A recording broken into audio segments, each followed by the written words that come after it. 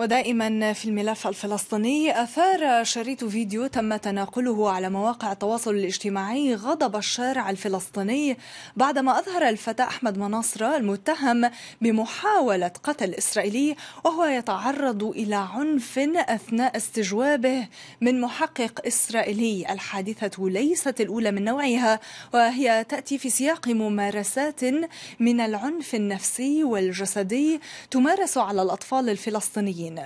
من جهة أخرى انتهت وزارة القضاء من إعداد نص مشروع يسمح بسجن الأطفال الفلسطينيين في سجون البالغين في إسرائيل ابتداء من عمر الثانية عشر عاما وهو ما ربط مباشرة مع قضية الطفل مناصرة.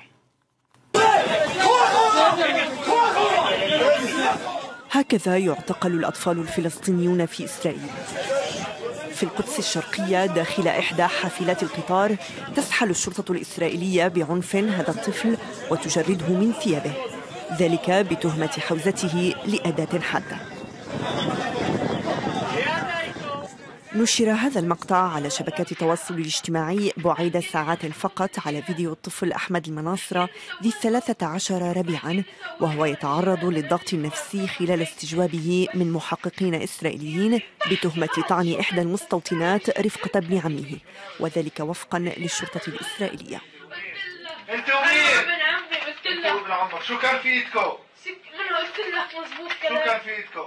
قلت لك انه مزبوط إيش؟ إيش؟ سكين سكين آه خلص من قلت لك خلص آه قلت لك ولأن الطفل أحمد قد يتفادى السجن بسبب عمره تحدثت مصادر إسرائيلية عن التحضير لقانون جديد لمحاكمة الأطفال. سيسمح للقضاة بمحاكمة الأطفال من جيل الاثني عشر عاما ومن ثم تحويلهم إلى مركز تأهيل لمدة عامين. وفي جيل الأربعة عشر عاما يتم نقلهم إلى السجن لاستيفاء مدة الحكم العادية التي قررها الحاكم بأمر من المحكمة. الفيديو المسرب للتعذيب النفسي الذي طال الطفل أحمد أثار غضب الشارع الفلسطيني.